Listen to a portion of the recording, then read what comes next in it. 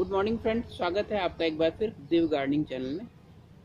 देखिए, आज मैं आपको कुछ अलग सा बताने चाह रहा हूँ कि जैसे कि आपके कुछ गमले बगीचे में टूट जाते होंगे, जिनको आप फेंक देते होगे। जिनकी ऊपर की बाट टूट जाती है तो देखने में अच्छे भी नहीं लगते हैं। तो आप इस तरह से कुछ प्लांट्स इस तरह के लगा सकते हो, जो कि पूरे गमले में छा जाते हैं। जैसे एक बेल है, ये ये हैंगिंग बेल है। और देखिए, ये गमला दिख भी नहीं रहा है, पीछे गमला है। तो आप इस तरह से लगा सकते हैं और इसको कहीं पर भी रख सकते हैं तो बहुत ही अच्छा लगता है ये। ये हमेशा हरा रहता है, बस सर्दी में आपको इसको पाले से बचाना होता है। तो जैसे कि ये मेरे पास एक,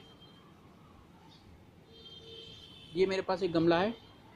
इसकी बाट देखिए बिल्कुल टूटी हुई है लेकिन इस पर भी मैं इसको लगा दूँगा, थोड़ी सी कटिंग काट करके इसकी, चारों तरफ़। तो ये भी बीच में और चारों तरफ़ तो इससे क्या होगा कि ये भी ढक लेगा इसको इसी तरह से।